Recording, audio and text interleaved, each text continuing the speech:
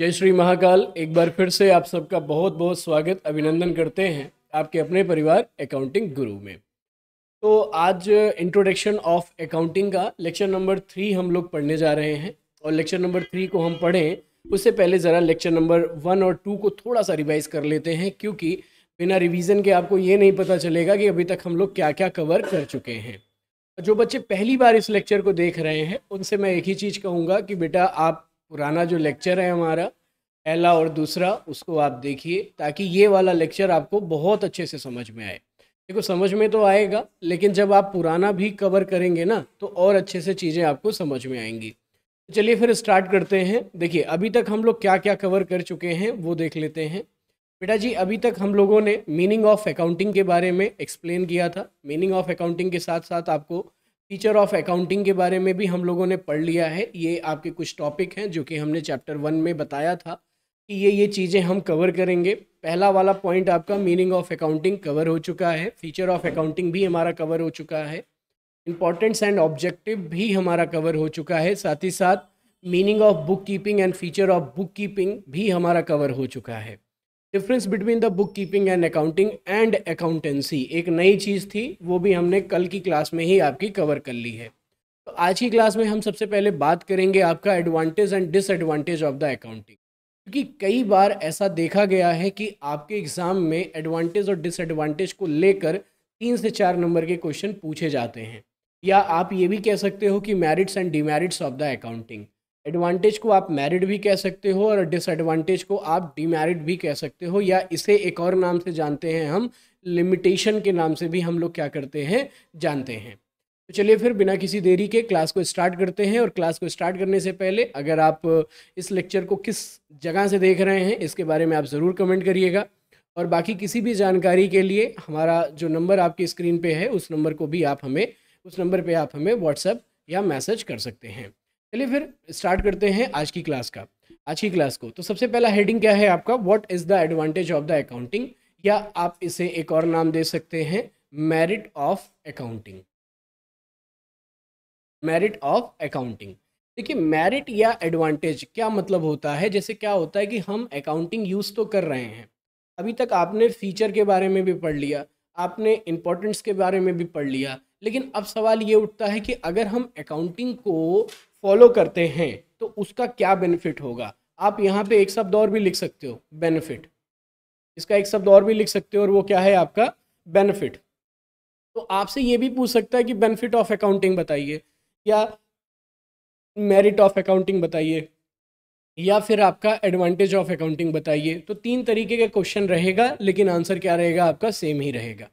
चलिए फिर स्टार्ट करते हैं। देखिए, सबसे पहला आपका क्या कहता है? Provide the information about the financial performance अब कल की क्लास की अगर हम बात करें, कल नहीं लेक्चर नंबर वन की अगर हम बात करें तो लेक्चर नंबर वन में मैंने आपको ये एक सर्कल बताया था अकाउंटिंग साइकिल बताया था। तो अकाउंटिंग साइकिल में जो आपका समराइजेशन वाला पोर्शन था, और समराइजेशन वाले पोर्शन में आपने तीन पोर्शन ही पढ़े थे। याद है सबको? सबसे पहला क्या था आपका? ट्रायल बैलेंस था। सबसे पहले आपका क्या था? ट्रायल बैलेंस था। फिर क्या था? ट्रायल बैलेंस के बाद क्या था? फाइनल अकाउंट था। और फाइनल अकाउंट के बाद फिर आपका क्या था? बैलेंस सीट था। यानी बैलेंस सीट ही रिस्पॉन्सिबल है आपके फाइनेंशियल परफॉर्मेंस को एक्सप्लेन करने के लिए। या आप ये भी कह सकते हो कि सर बैलेंस सीट की सहायता से हम किसी भी ऑर्गेनाइजेशन का फाइनेंशियल परफॉर्मेंस पता कर सकते हैं? फाइनेंशियल परफॉर्मेंस का मतलब क्या है? ऐसे आप समझो कि भाई सीधी सी बात है, जैसे सपोज़ करिए कि मेरी जेब में एक लाख रुपए पड़े हैं, ठीक है? मेरी जेब में एक लाख रुपए पड़े हैं, लेकिन एक लाख रुपए अभी दो मिनट के बाद मुझे किसी को ट्रांसफ़र करने हैं या किसी को मुझे देने हैं तो ज़रा बताइए, क्या वो दो लाख मेरे हैं? क्या वो मेरी फाइनेंशियल पोजीशन यानी मेरी फाइनेंशियल पोजीशन को हिंदी में क्या कहते हैं? वित्तीय स्थिति कहते हैं। और वित्तीय स्थिति का मतलब क्या होता है? वित्त मतलब क्या होता है? पैसा ना। वित्त मतलब क्या होता है? पैसा। आप ऐसे समझो कि जब कोविड था, जब कोविड वाला सीज़न, वो सेशन चल रहा था तो उसमें जिसके पास पैसा था, उसके लिए तो कोविड यानी छुट्टियों के दिन थे। लेकिन जिनके पास पैसा नहीं था भाई साहब, वो चार चार चार चार सौ किलोमीटर पैदल अपने घर जा रहे थे। पैदल पैदल पैदल चल दे रहे थे।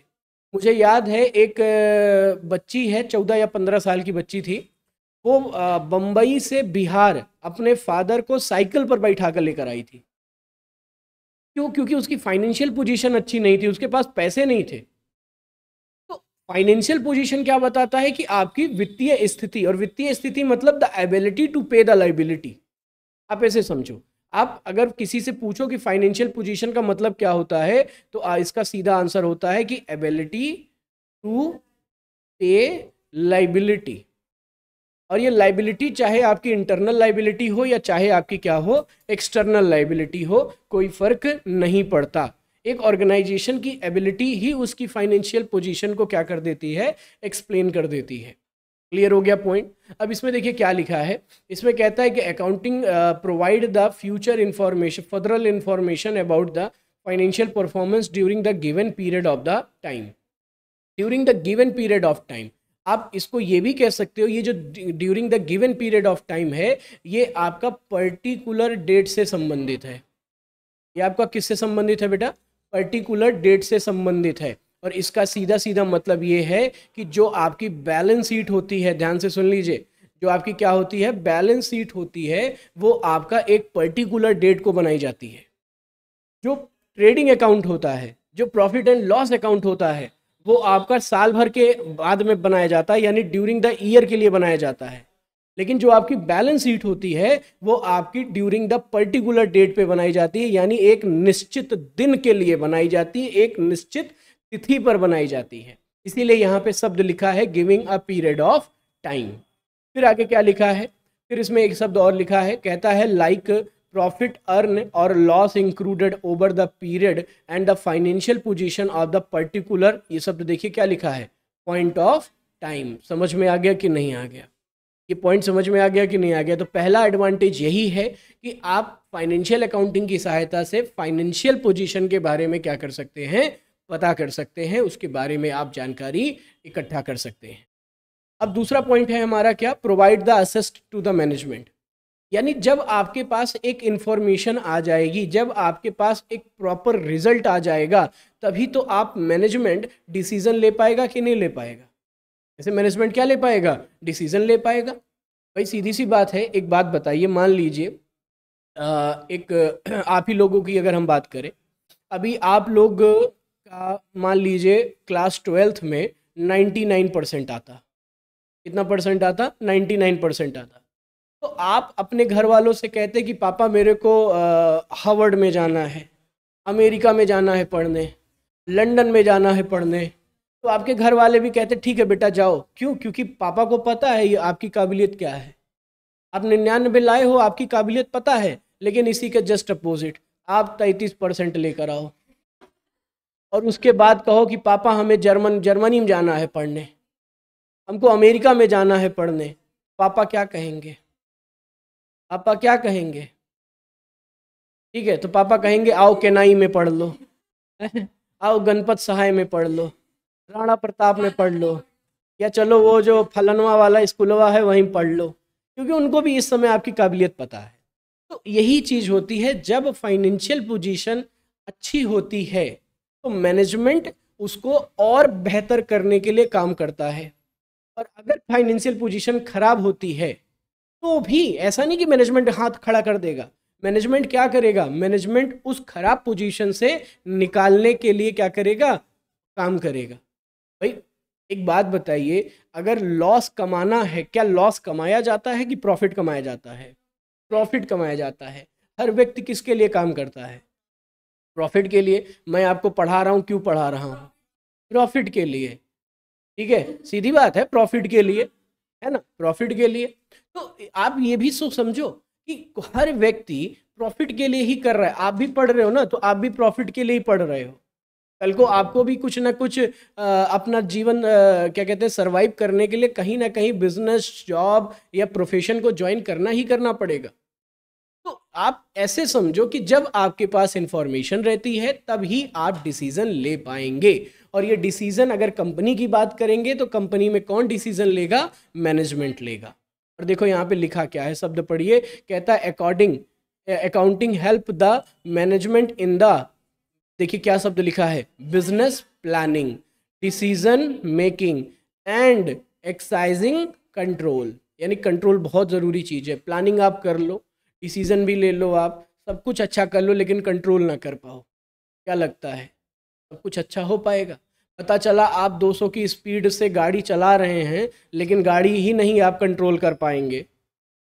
ना तो आप रहेंगे, ना तो आपकी गाड़ी रहेगी। ठीक है? और जिसके ऊपर गए, वो भी गया। चलो।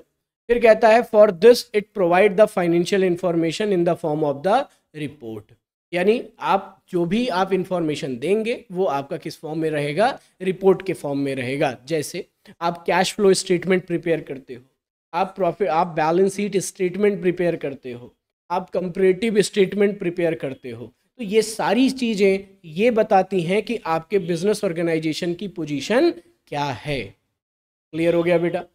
फिर अगला एडवांटेज क्या है? कहता है facility of the comparative study आपको याद हो तो आप लोगों ने क्लास ट्वेल्थ में एक चैप्टर पढ़ा था कंपरेटिव बैलेंस सीट याद ही नहीं होगा किसी को।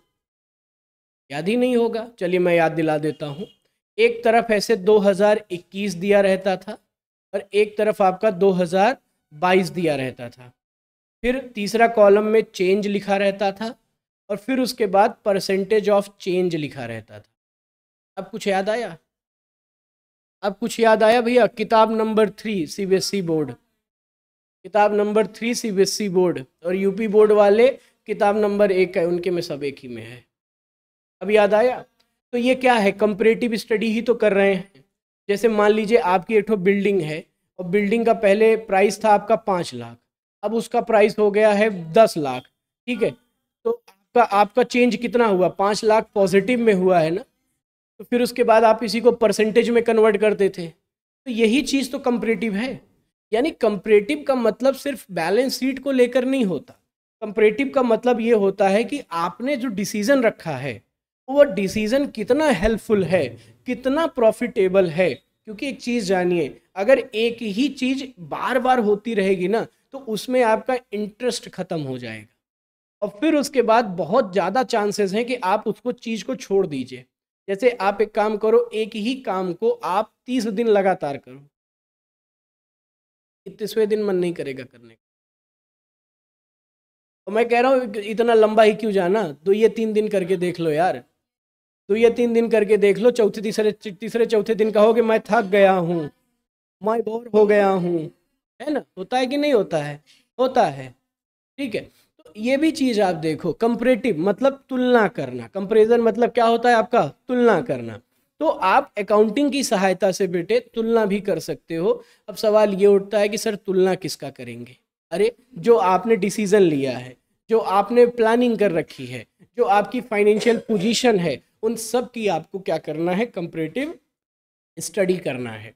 इसमें क्या लिखा है? By keep the systematic record and prepare and preparation of the record report at the regular interval accounting help in the making a comparison ठीक है बेटा? समझ में आ गया कि नहीं आ गया? फिर उसके बाद अगला पॉइंट है आपका, चौथा एडवांटेज है आपका settlement in the help in the settlement of the tax liability help in the settlement of the tax liability अच्छा मुझे एक चीज़ याद आ गई कि जब मेरी शादी हुई थी एक महीने तक मैं एक ही सवाल पूछता था कि आपके घर वालों ने मुझमें क्या देखा?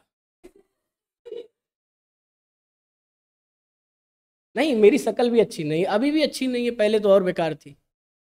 ठीक है, पहले भी अच्छी नहीं थी। तो मैं बार बार एक ही चीज़ पूछता घूम फिर कर एक ही चीज़ पूछता कि एक बात बताओ, तुम्हारे भैया ने क्या देखा मुझमें? तुम्हारे, उसमें भाभी ने क्या देखा? तुम्हारे पापा ने क्या देखा? तो उन्होंने बस एक ही शब्द कह दी थी, कुछ नहीं कुछ नहीं। अच्छा मैं ये क्यों पूछता था, जानते हो? इसका कारण ये था कि मैं वो त्रस्त हो गया था। कारण क्या है कि मुझे कोई भाव देता था नहीं। जब मुझे कोई भाव देता नहीं था तो एकाएक ऐसा ऐसा लड्डू मिल गया अच्छा खाने को। तो फिर किस्मत?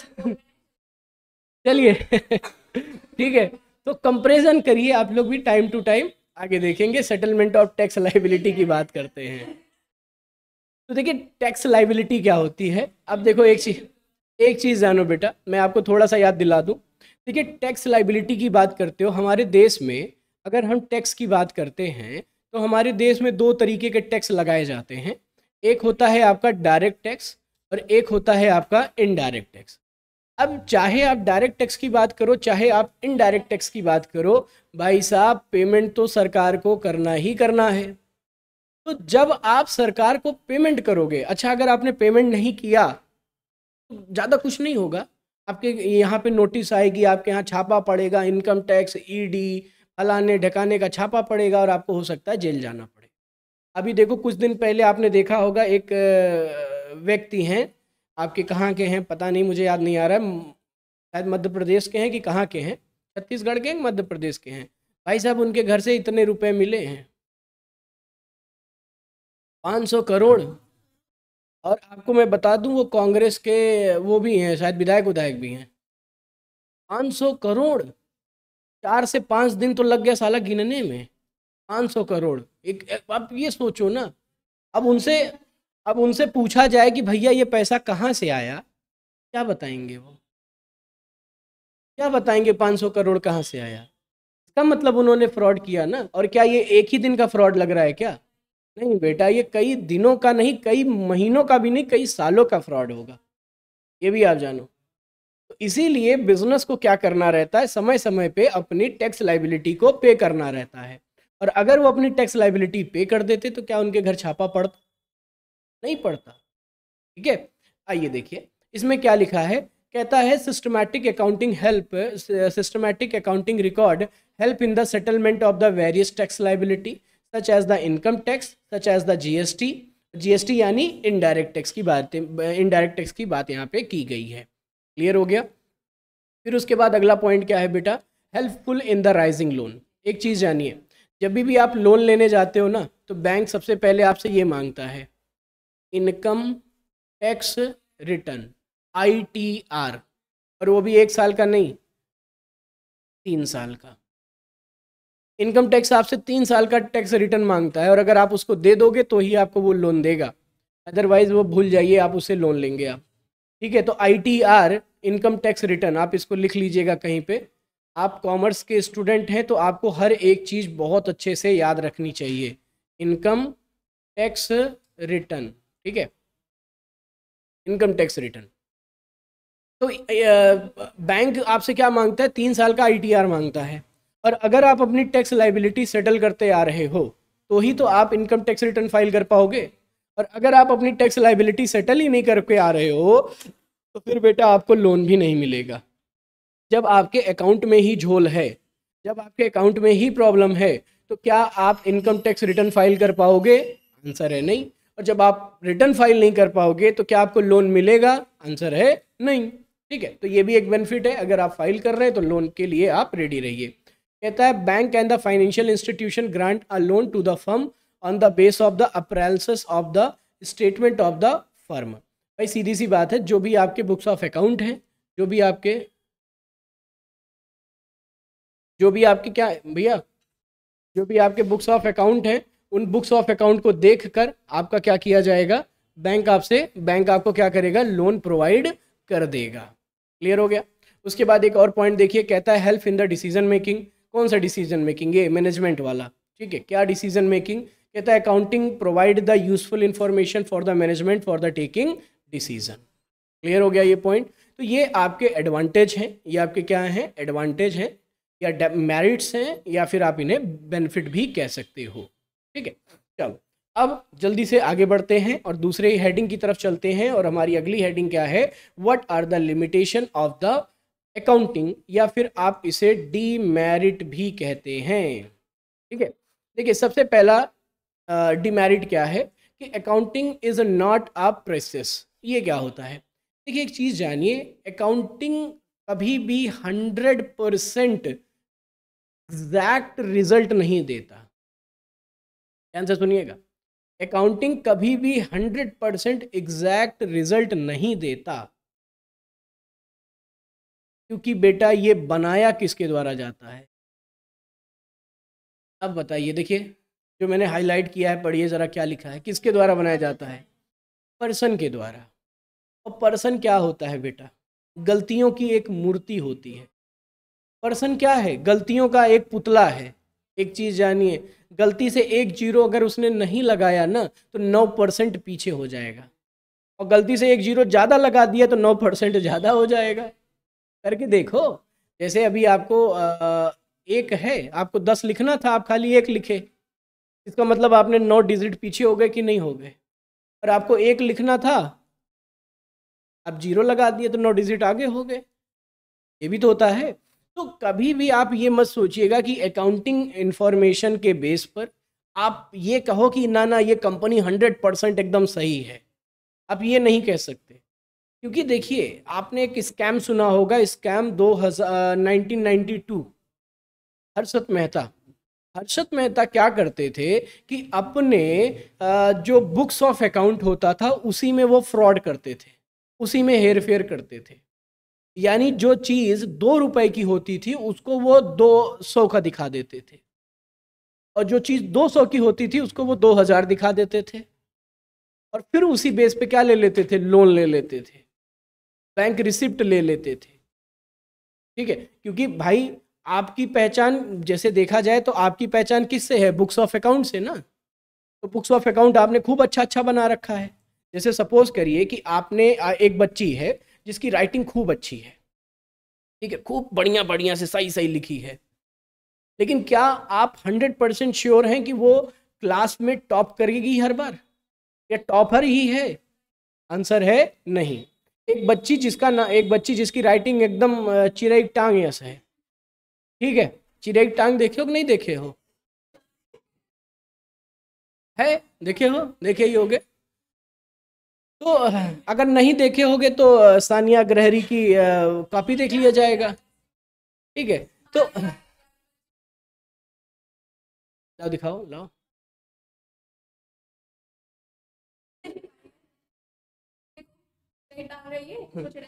देख लीजिए देख लीजिए। ये शाम को आप देखिएगा। ये मैं कट करूँगा नहीं इस वाली लाइन को। इस वाले फ्रेम को कट नहीं किया जाएगा। ठीक है। चलो ध्यान दो।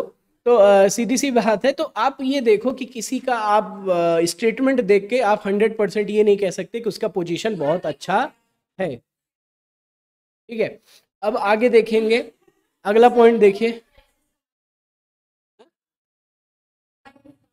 पर्सनल बेस बेटा पर्सनल बेस ठीक है पर्सनल बेस और जजमेंट हाँ जी।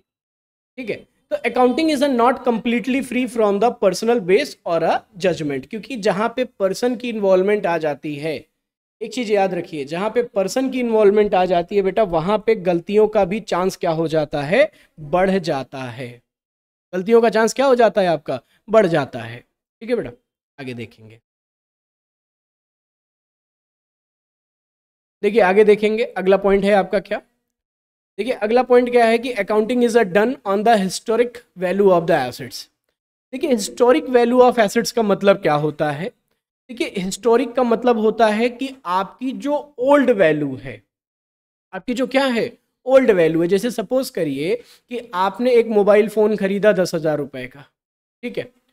अब इसको आप दो साल के बाद बेचना चाहते हो तो आप इसका प्राइस कितना लगाओगे?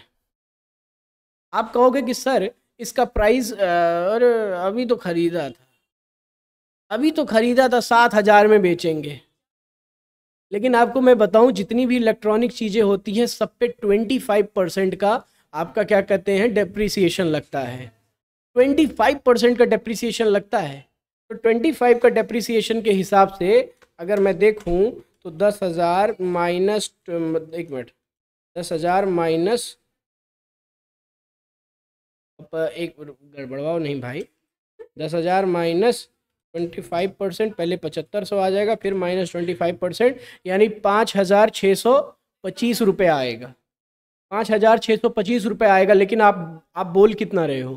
सात हज़ार बोल रहे हो। यानी कहने का सीधा सीधा मतलब ये है कि जो हम अकाउंटिंग में बुक्स ऑफ़ रिकॉर्ड करते हैं, जो भी अकाउंटिंग ट्रांजेक्शन को रिकॉर्ड करते हैं, वो हम हिस्टोरिकल बेस पे करते हैं। हम उसको कभी भी करंट मार्केट वैल्यू पे नहीं करते। और करंट मार्केट वैल्यू इसलिए नहीं करते क्योंकि देख चीज़ जानो करंट मार्केट वैल्यू या तो बढ़ा भी सकती है या तो करंट मार्केट वैल्यू आपकी क्या कर सकती है? घटा सकती है। और एक चीज़ हमेशा याद रखिएगा कि ज़मीन को छोड़कर और नेच, नेचुरल मेड एसिड्स को छोड़कर क्या बोला मैंने? नेचुरल मेड एसिड्स को छोड़कर बाकी हर चीज़ की वैल्यू डिक्रीज होती है। अब आप कहोगे सर नेचुरल मेड एसिड्स कैसे? देखा जाए तो ज़मीन भी नेचुरल मेड ही है जो आपके सोना सोना होता है हीरा होता है ज्वेलरी होती है ये कौन बनाता है? जो ज्वेलरी आप सोनार से बनाते हो, उसका दाम घटेगा, लेकिन जो वो उसमें ब्रिक्स में आता है, उसका दाम बढ़ेगा, बिस्किट वाला दाम बढ़ेगा। ज्वेलरी जो ह्यूमन बना रहे हैं, उसका दाम घटेगा, लेकिन जो ब्रिक्स वाला, जो प्योर गोल्ड है, उसका दाम ऑटोमेटिक क्या होता रहेगा? बढ़ता रहेगा। क्यों? क्योंकि आपको भी पता है कि जिस चीज़ की शॉर्टेज होती है, उस चीज़ का प्राइस बढ़ता है। सही कह रहा हूँ कि गलत कह रहा हूँ? धीरे धीरे हर चीज़ ख़त्म ही तो हो रही है। तो एक समय था कि पानी आपको फ्री में मिलता था। आज का समय है, पानी बीस रुपये का मिलता है। और एक समय आएगा कि पानी आपको सौ रुपये का मिलेगा। इंतज़ार करिए, वो समय आएगा, घबराइए नहीं।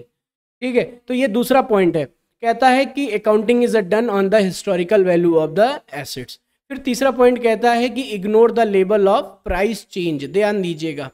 आप कोई भी प्रोडक्ट उठा के लीजिए, उसका प्राइस क्या होता रहता है, बढ़ता और घटता रहता है। और जब प्राइस बढ़ता और घटता रहता है, यानी उसका हम मार्केट वैल्यू एनालाइज कर नहीं रहे हैं। तो जब मार्केट वैल्यू एनालाइज कर नहीं रहे हैं तो उसका प्रभाव पड़ेगा कि नहीं पड़ेगा? ऑटोमेटिक पड़ेगा। जैसे, जब मुझे पहली बार पेमेंट आई तो मुझे सौ डॉलर का बहत्तर सौ रुपया मिला था। ठीक है? दोबारा फिर जब मुझे पेमेंट आई तो सौ डॉलर का मुझे बयासी सौ रुपया मिला। अब आप कहोगे, सर, कैसे बढ़ा? अरे भैया, डॉलर का रेट क्या हो गया? बढ़ गया था ना। पहले सिक्स सेवेंटी टू था, अब कितना है? एट्टी टू है। तो ये भी चीज़ आप देखिए ना, उसको आपको रिकॉर्ड करना पड़ेगा। लेकिन हम उसको क्या करते हैं? इग्नोर कर देते हैं। उसको क्या कर देते हैं? इग्नोर हम रिकॉर्ड तो करते हैं बयासी सौ, लेकिन हज़ार रुपए को क्या कर देते हैं? इग्नोर कर देते हैं। इसके इफ़ेक्ट को ही हम नहीं दिखाते।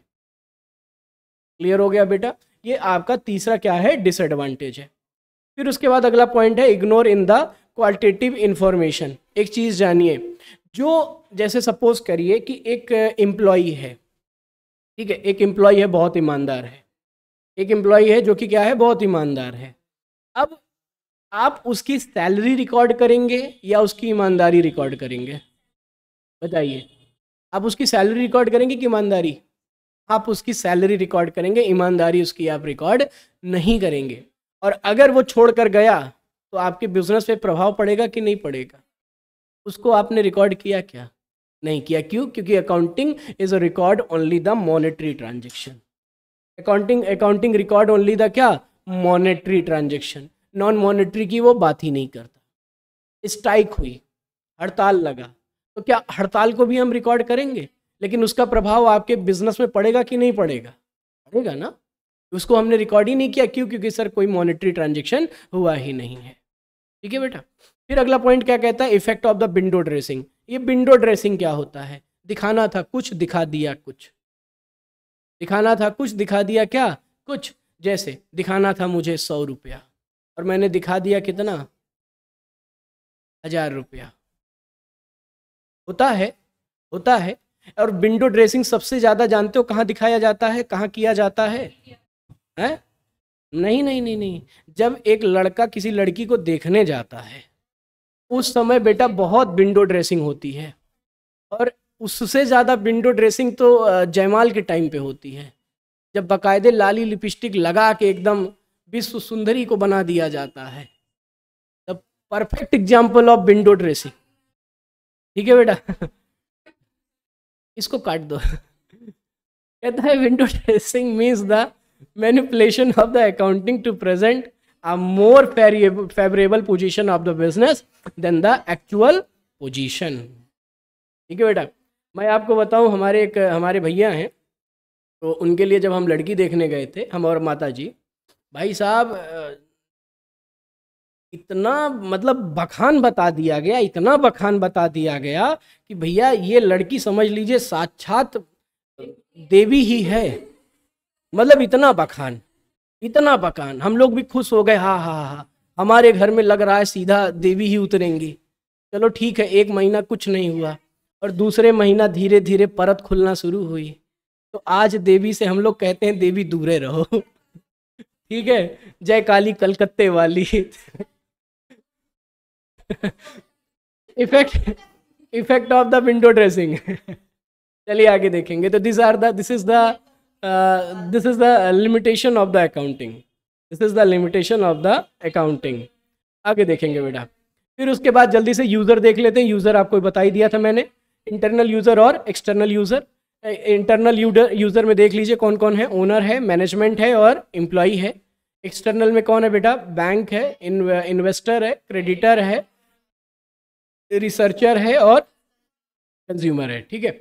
इतनी बातें बता दिया था पहले ही। अब एक एक पॉइंट देख लेते हैं, एक पॉइंट देख लेते हैं, ये वाला। कहता है what are the quality character of the accounting information ये सर क्या है? सर क्या क्या विशेषता होनी चाहिए अकाउंटिंग इन्फॉर्मेशन की? तो बेटा, ये चार पॉइंट याद रख लीजिएगा। ये चार पॉइंट आपको याद रखना है। पहला क्या है? रिलायबिलिटी रिलायबिलिटी का मतलब क्या होता है? आप उस इंफॉर्मेशन पर विश्वास कर सकें। आप उस इंफॉर्मेशन पे क्या कर सकें? विश्वास कर सकें। दूसरा रेलेवेंस वो इंफॉर्मेशन आपके लिए ही होनी चाहिए। वो इंफॉर्मेशन किसके लिए होनी चाहिए? आपके लिए होनी चाहिए। और तीसरा, उस इंफॉर्मेशन को आप क्या कर सको बेटा? समझ सको। और चौथा और लास्ट कि उस इंफॉर्मेशन को आप क्या कर सको? कंपेयर कर सको। क्या कर सको बेटा? कंपेयर कर सको। तो ये चार विशेषताएँ होनी चाहिए किसी भी फाइनेंशियल इंफॉर्मेशन के में, किसी भी फाइनेंशियल इंफॉर्मेशन में।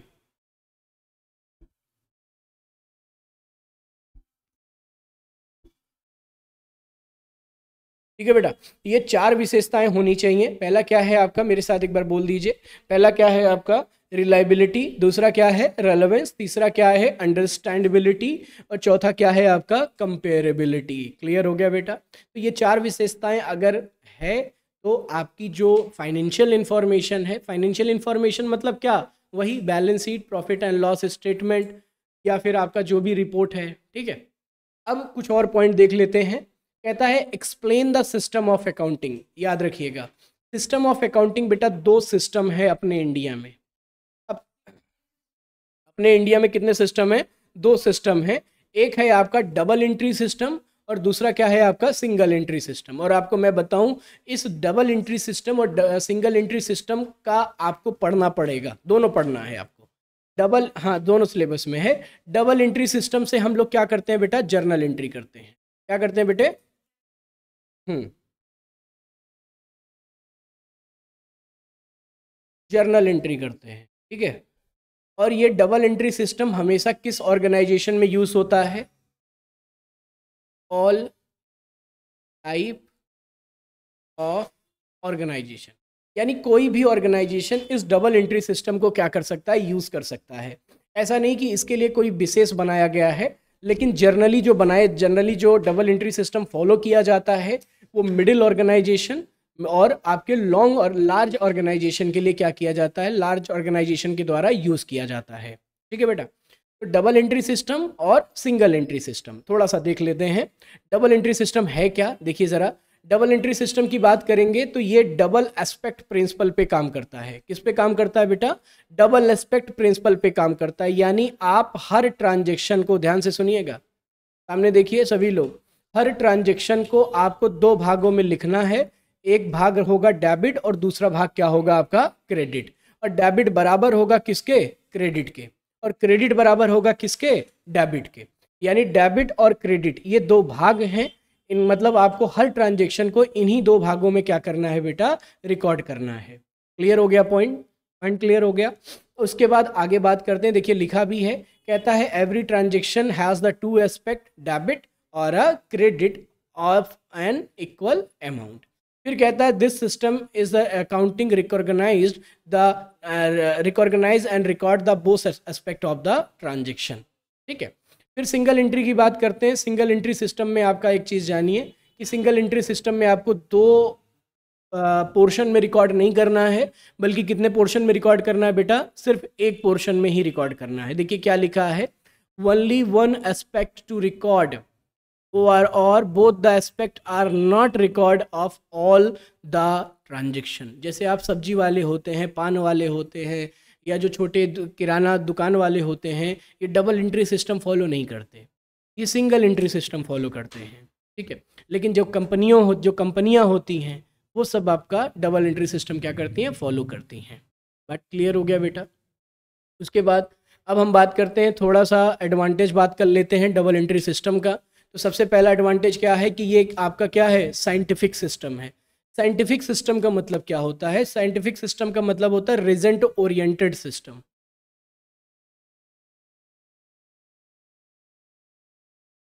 result oriented system इसका मतलब ये है कि ये जो डबल एंट्री सिस्टम है, ये ऐसे ही नहीं बनाया गया है। इसके लिए एक प्रॉपर रिसर्च टीम ने काम किया है। एक प्रॉपर टेक्निक के द्वारा इसको रिकॉर्ड किया जाता है। आपको आ, मैं बताऊँगा जब आप अगला चैप्टर पढ़ेंगे जिसमें हम अकाउंटिंग प्रिंसिपल पढ़ेंगे तो अकाउंटिंग प्रिंसिपल में एक प्रिंसिपल है जिसका नाम है डबल एस्पेक्ट प्रिंसिपल और डबल एस्पेक्ट प्रिंसिपल में ये चीज़ें बताई गई हैं कि ट्रांजेक्शन को हमको कैसे रिकॉर्ड करना है। किसको डेबिट करना है और किसको आपको क्या करना है? क्रेडिट करना है। ठीक है? फ़िलहाल मैं आपको एक चीज़ यहाँ पे और बता देता हूँ कि जितने भी आपकी एसिड्स होती हैं जितनी भी आपकी क्या होती हैं बेटा? एसिड्स होती हैं। या जितने भी आपके क्या होते हैं एक्सपेंस होते हैं, इन सबको आपको डेबिट करना होता है।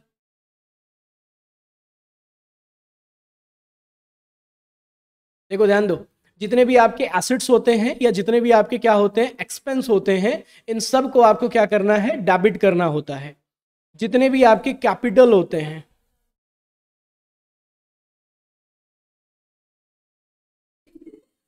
जितने भी आपके कैपिटल होते हैं जितने भी आपकी इनकम होते हैं या जितने भी आपकी लाइबिलिटी होती है बेटा।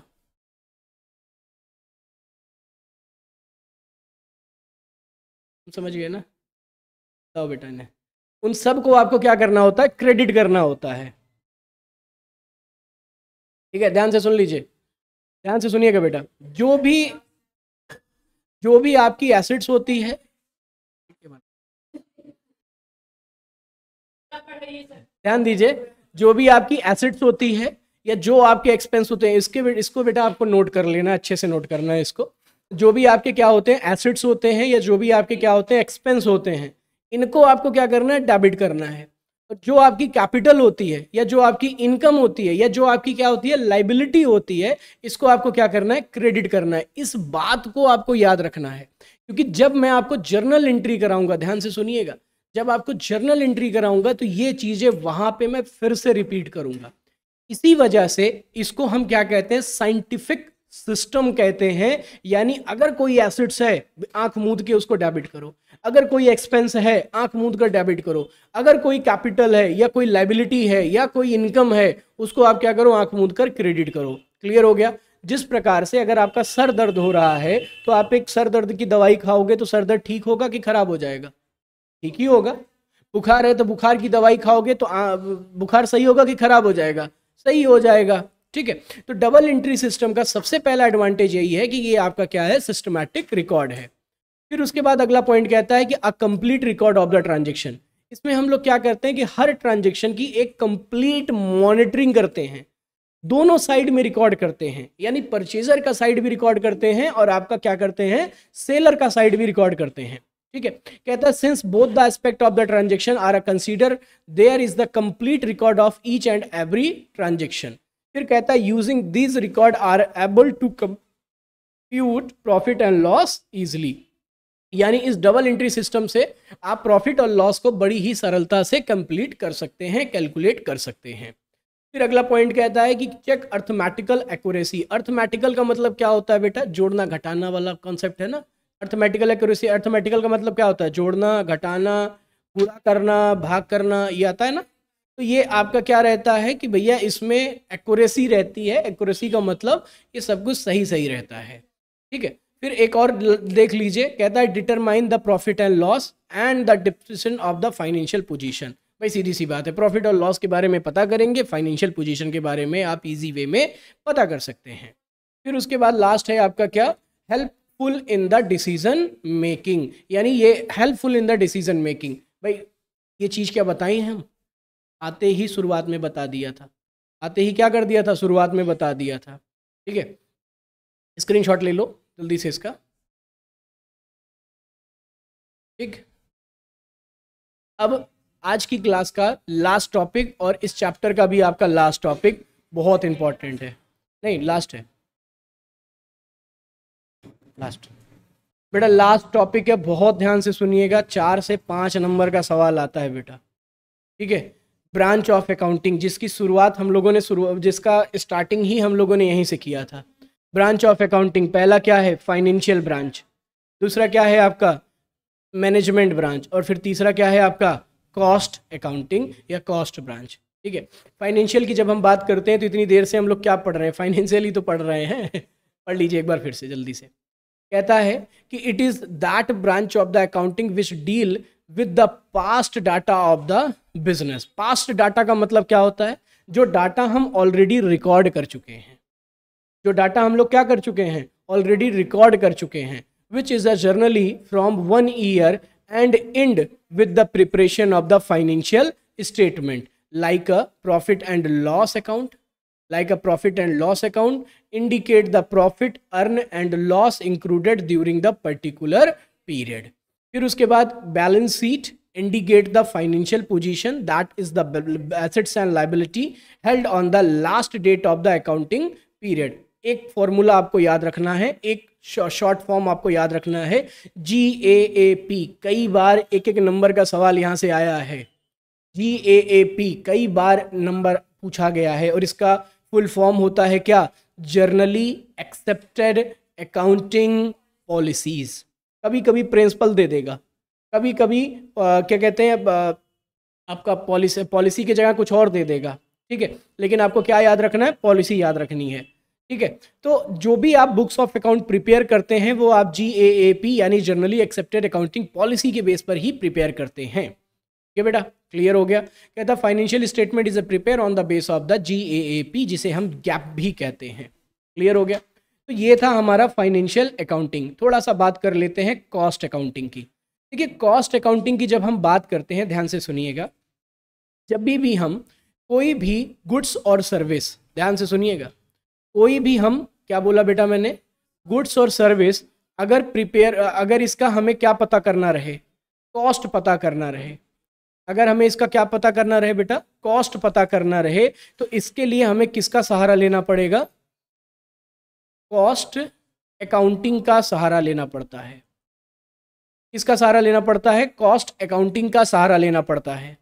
अगर आपको याद हो तो मैंने आपको एक ऑर्गेनाइजेशन टाइप का कुछ डायग्राम बनाया था। वो डायग्राम कहाँ है? मैं एक बार देख लेता हूँ। आपको बताता हूँ मैं, रुक जाइए एक मिनट। ये रहा। ये रहा वो डायग्राम। ध्यान दीजिए। ये रहा वो डायग्राम ऑर्गेनाइजेशन वाला।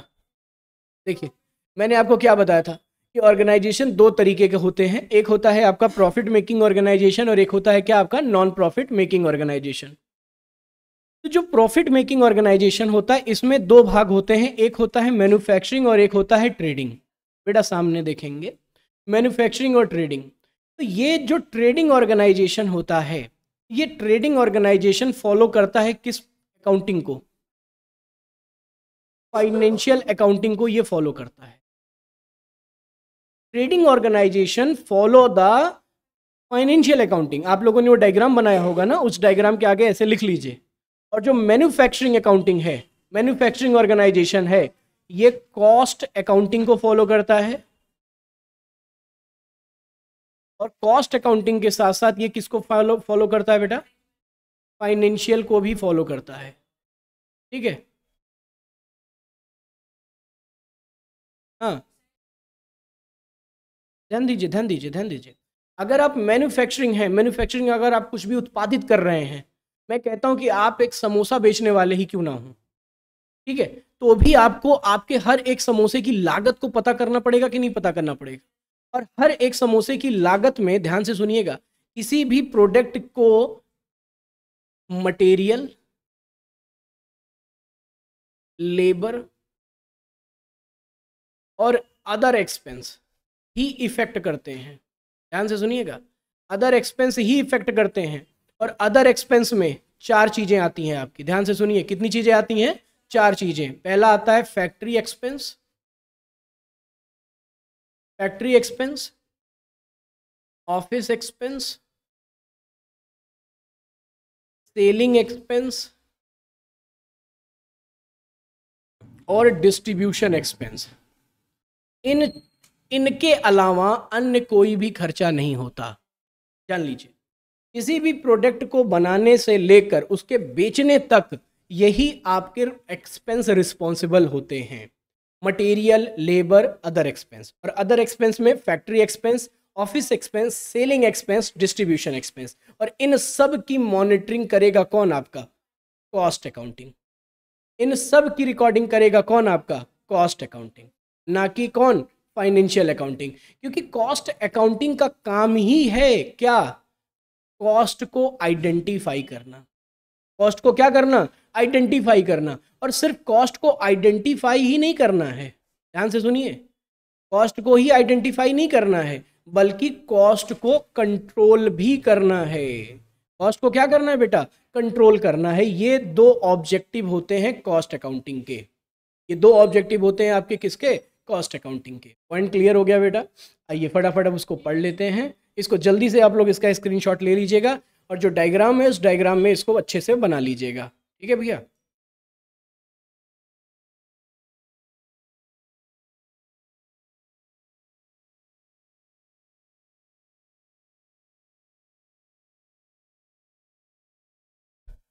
ठीक, चलिए, अब आगे बढ़ते हैं हम लोग, और जो आपकी डेफिनेशन है, उस डेफिनेशन को पढ़ते हैं, और फिर अपनी क्लास को समाप्त करते हैं। आपका ये चैप्टर आज पहला चैप्टर यहीं पे आज क्या हो जाएगा? ख़त्म हो जाएगा।